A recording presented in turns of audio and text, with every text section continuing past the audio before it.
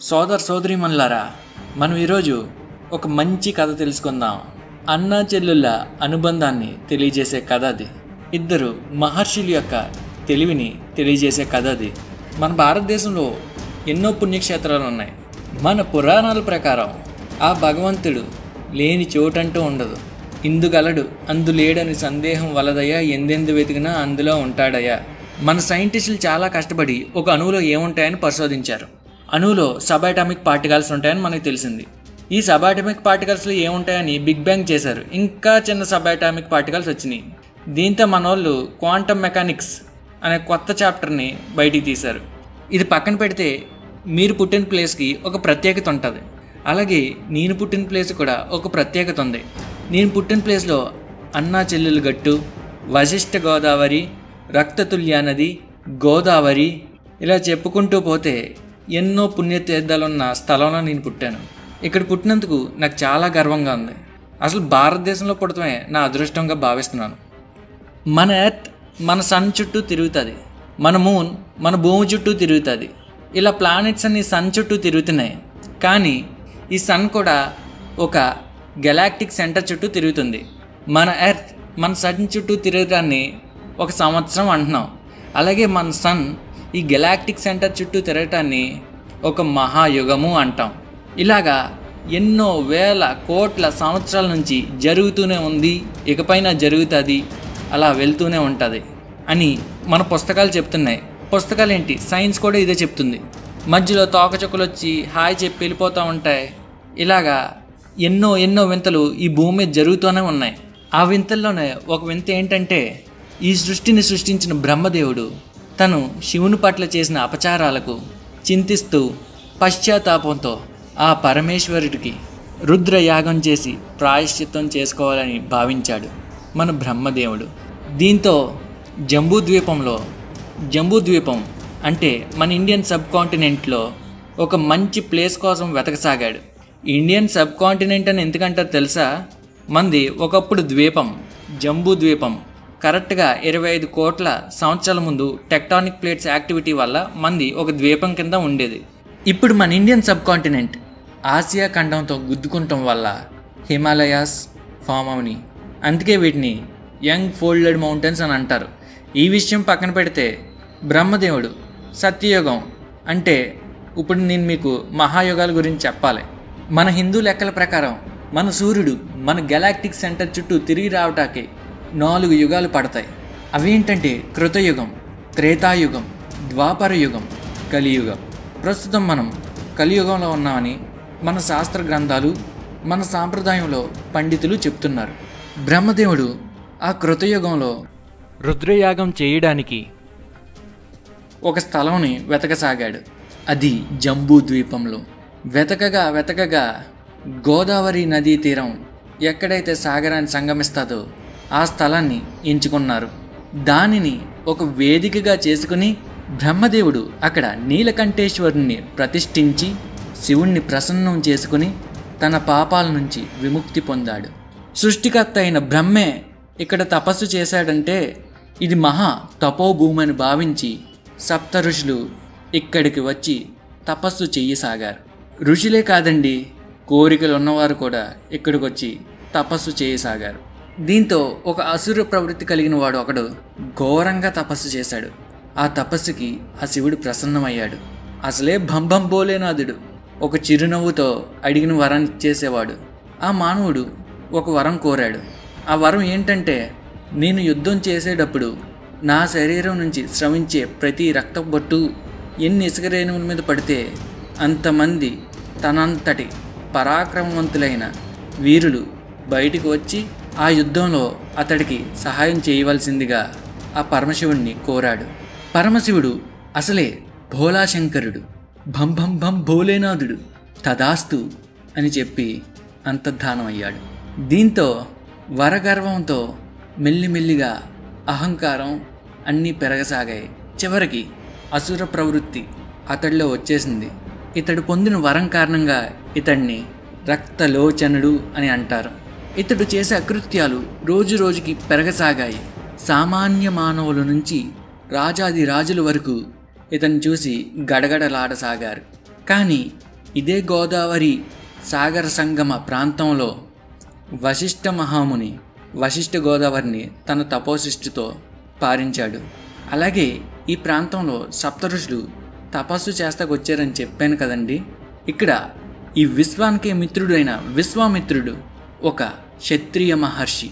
ముందు క్షత్రియుడు తర్వాత తన కృషితో మహర్షి అయ్యాడు. ఇతడు విశ్వానికి మేలు చేసేవాడు కాబట్టి ఇతనికి విశ్వామిత్రుడని పేరు.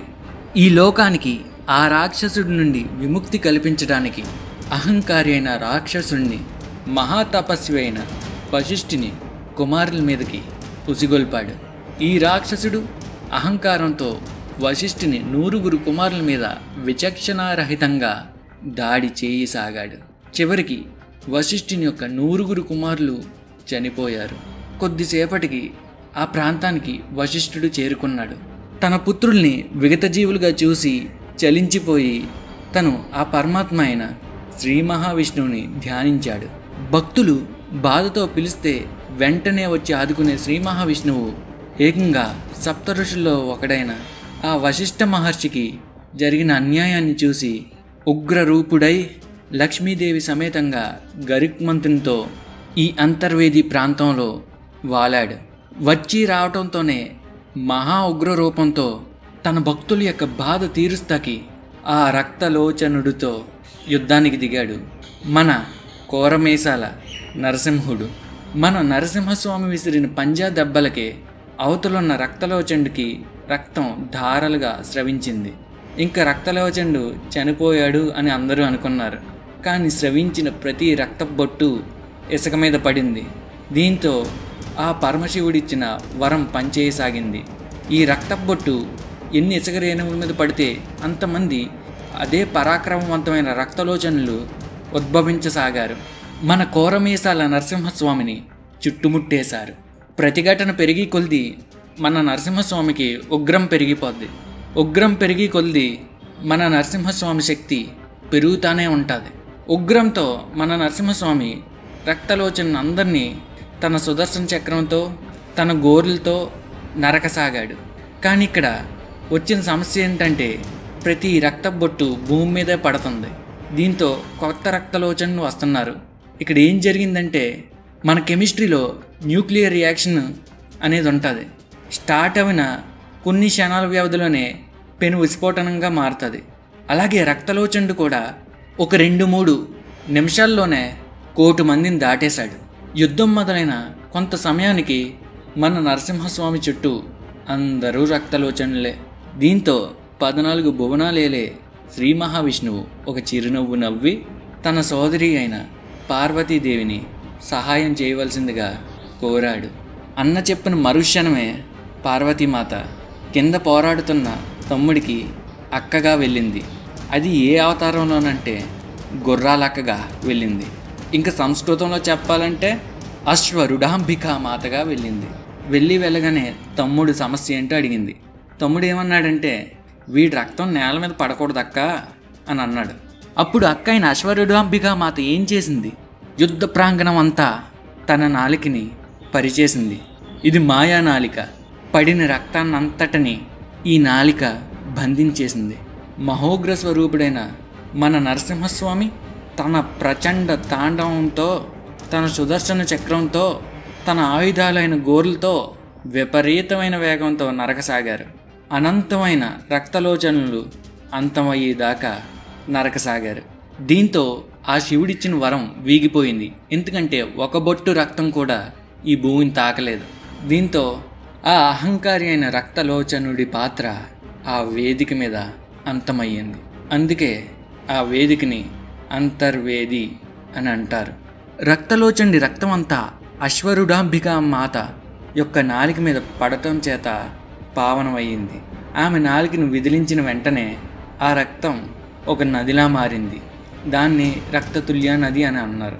ఈ నదిలోనే తమ్ముడైన నరసింహస్వామి తన సుదర్శన చక్రాన్ని కడుక్కున్నారని ప్రతీతి. ఈ నదిలో స్నానం చేస్తే మనలో ఉన్న అహంకారం క్రోధం లోభం ఇలాంటి దుర్గుణాలన్నీ నాశనం అవుతాయని అక్కడున్న ప్రజల విశ్వాసం. వశిష్ఠుని యొక్క కోరిక మేరకు లక్ష్మీదేవి సమేతంగా నరసింహస్వామి అక్కడ కొలువై ఉన్నారు. అశ్వరుడాంబికా మాత కూడా అక్కడే కొలువై ఉంది. ఇక్కడ ప్రతి సంవత్సరం రథయాత్ర మహావైభవంగా జరుగుతుంది. ఇంకా అంతర్వేది తీర్థం అంటే దానికున్న హడావిడి అంతా ఇంత కాదండి. అది మీరు స్వయంగా ఒకసారి వెళ్ళి చూడాల్సిందే. ఒక మహాయుద్ధం లోక కళ్యాణార్థం జరిగిన ప్రాంతంలో పుట్టినందుకు నేనెంతో గర్వపడుతున్నాను. ఇక్కడ అనేక మంది మహర్షులు సంచరించారు. ఏకంగా దేవాది దేవుడైన యొక్క అంశైన లక్ష్మీ నరసింహస్వామి అశ్వరుడాంబికా మాత ఇక్కడ కొలువై ఉన్నారు. తమ్ముడు రెండో పెళ్ళి చేసుకున్నాడని గుర్రాలక్క మూతి తిప్పుకుంది. ఆ తిప్పుకున్న మూతి ఇప్పటికీ అలాగే ఉందని ప్రతీతి. ఈ గుడి క్రీస్తు శకం మూడు వందల సంవత్సరంలో పునర్నిర్మింపబడింది. కానీ ఈ గుడి కృతయుగం నుండే అక్కడ ఉంది. ఈ కథలో మనం అన్నా చెల్లుల అనుబంధం తెలుసుకున్నాం. అశ్వరుడాంబికా మాత శ్రీ లక్ష్మీ నరసింహస్వామికి అన్నా చెల్లుల అనుబంధం ఉంది.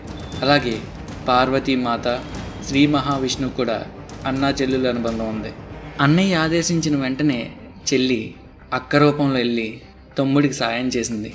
అందుకే మన అంతర్వేదిలో అన్నా చెల్లెల గట్టు గుర్రాలక్క గుడి అంటే మన అశ్వరుడు అంబికా మాత గుడి శ్రీ లక్ష్మీ నరసింహస్వామి గుడి వశిష్ఠ తీర్థం సాగర సంగమం ప్రదేశాలు మనకింకా దర్శనమిస్తున్నాయి. అక్కడే నీలకంఠేశ్వరుని ఆలయం కూడా ఉంటుంది.